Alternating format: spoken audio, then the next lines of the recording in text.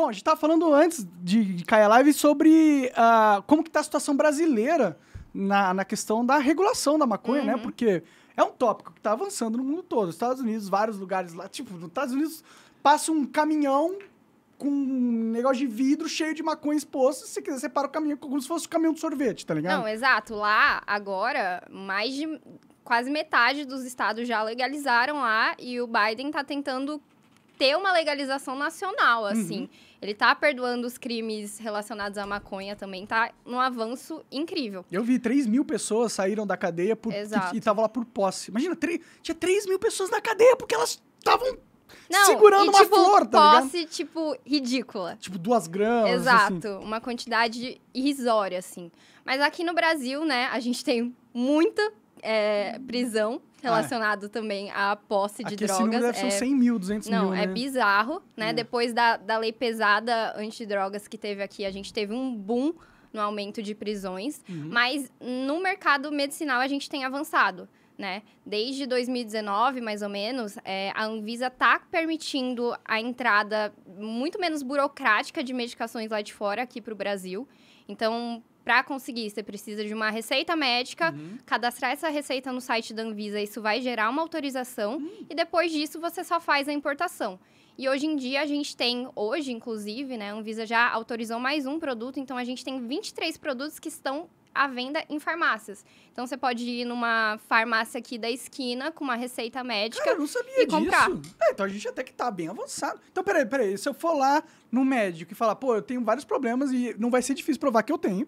E ele falar, Tó, eu vou descrever essa receita aqui pra você, você pode comprar o canabidiol lá tal. Eu, eu consigo? Eu consigo? É fácil fazer isso? Consegue. Então, nas farmácias, né, é, farmácias tradicionais, assim, físicas, Sim. Você precisa de uma receita de controle especial, né? É, que é uma receita um pouco mais detalhada, porque é uma medicação controlada. Entendi. E você consegue é, fazer esse acesso tranquilamente. Só que qual que é o problema das medicações da, da farmácia? Hum. O preço ainda é muito caro, né? Quanto- e você norma- é, normalmente são medicações só com canabidiol. Ah, não Né? tem o THC. É, não tem. THC. O preço das farmácias hoje em dia, né, com 23 produtos, eles conseguiram baixar um pouquinho o preço. Uhum. Então vai numa média de 500 a 3 mil reais. É caro. Caralho! Não, é muito caro. É Deixa caro. quieto, eu não tô mais interessado. Mas o importado, o importado, é, por mais que venha dos Estados Unidos, por exemplo, então a variação do dólar, mesmo assim compensa muito. Hum. A gente tem medicação que vai de 150 a 600 reais tranquilamente, com uma duração aí de três meses. Ah, então tá valendo a pena. É. Entendi, entendi. Mas é só o CBD, não dá pra comprar THC. Dá, então entendi. Dá pra comprar, dá pra Entendi. comprar. A gente, Você né, criar a um gente curso ensinando isso, ia ganhar muito dinheiro. A gente pensa que cannabis medicinal, né, é só o CBD e só o óleo. Uhum. Não é. A gente tem hoje as gummies, que são as balinhas, Hum. tem cápsula, tem gel, creme, tem as flores vindo aqui pro Brasil. Hum. E a gente tem vários tipos de canabinoides que podem ser importados. Então, tem o THC, tem o primo dele, que é o Delta 8 THC, que é um pouquinho menos psicoativo que ele. Tem o CBG, CBN, enfim, várias partes da planta da cannabis estão conseguindo entrar aqui no Brasil mediante essa regulação da Anvisa. Cara, interessante, cara. Eu acho isso ótimo, né? Na, na minha visão, né? Eu sei que tem uma galera... O Brasil é um país muito conservador, né? Se você for para pensar. E tem muita gente que fica demonizando as drogas como se fossem as responsáveis pela destruição de todas as famílias brasileiras que existem, né? Mas a verdade é que... Porra, não é uma droga que vai destruir. Muitas vezes o cara tá indo pras drogas porque a vida dele já está destruída. Exato. é Ainda uma mais de escape. Ainda mais aqui no Brasil, né? Tipo assim. E a gente, é, toda essa demonização da maconha, na verdade, ela é uma demonização recente, entre aspas, sabe? Porque foi se criada uma propaganda, principalmente no começo, fim do século XVIII, começo do século XIX, Ah, tá.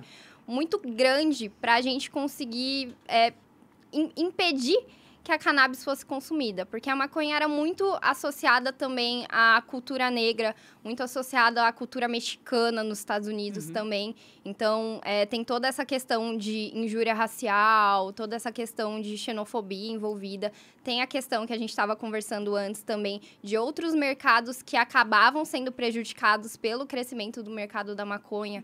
Então, do ópio, do algodão, enfim, porque a maconha ela tem muita possibilidade, tanto na parte da medicina, quanto na parte é, de engenharia, né? têxtil, exato. É, dizem que, tipo, você faz o, com a, a folha, né? Nem a flor, né? Com a folha da maconha você faz um tecido ultra resistente, Exato. leve, não sei o quê. As caravelas que vieram de Portugal para o Brasil, na época do descobrimento do Brasil, elas eram, as velas eram feitas de cânhamo. Caralho, a gente foi conquistado por maconheiros. né? Exato. As pessoas ficam aí zoando a gente.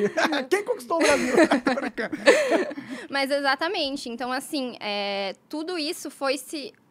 foi, cara, foi muito pesado a propaganda que fizeram, assim, no mundo inteiro, realmente, pra ter essa demonização. Proibição, é, proibição. Ah, É, sim. essa proibição da, da maconha e de outras drogas também, Uhum. no geral, né? Então, tudo isso que a gente pensa da maconha, na maioria das vezes é tabu. Uhum. Tipo assim, ai, a maconha é a porta de entrada para outras drogas. Nunca comprei. Primeiro. Exato. Eu nunca comprei. Ah, Cara, que é maior porta de entrada que o álcool. Exato! O álcool é a principal porta de entrada, já tá comprovado, assim, em todos os lugares. E a maconha, na geral, na, na verdade, ela é porta de saída para outras drogas, entendeu? Tem vários estudos que já conseguiram comprovar que a maconha, ela pode tratar a dependência de outras drogas, dependência da própria maconha, do próprio THC, o CBD pode Ah, tratar ah, é? também dependência de álcool, de cigarro, de opioide. Então, assim, é porta de saída no fim das contas, Uhum. sabe? Sim, sim, eu concordo plenamente. Eu acho, inclusive, excelente que, que tenha pessoas que estão estudando como você, que são médicas e tal, e estão esclarecendo a mente da galera aí, porque realmente é um preconceito. Mas tem coisas ruins também da maconha, né? Não, É, Não, tem, não é só também, é uma droga, assim como Exato. qualquer outra droga, exatamente. como a cafeína. Mas, assim, é uma droga é, que, se a gente for comparar com as outras, né, o potencial Destrutivo. destrutivo dela é muito menor. Então, a, o CBD, por exemplo, ele não causa dependência. O THC, ele tem um potencial muito baixo de causar dependência. Então, assim, Química aproximadamente...